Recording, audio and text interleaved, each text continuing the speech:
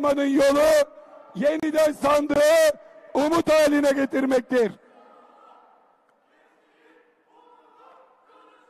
Gençler kim dediyse bunu yapın diye yapmayın.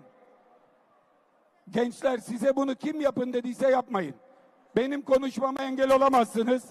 Cumhuriyet Halk Partililere yakışmaz. Beni Süleyman Soylu susturamadı. Bu talimatı veren de susturamaz.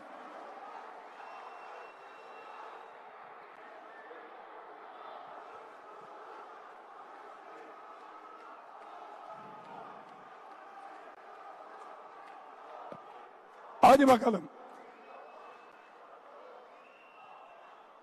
Değerli, değerli Cumhuriyet Halk Partililer. Şimdi önümüzde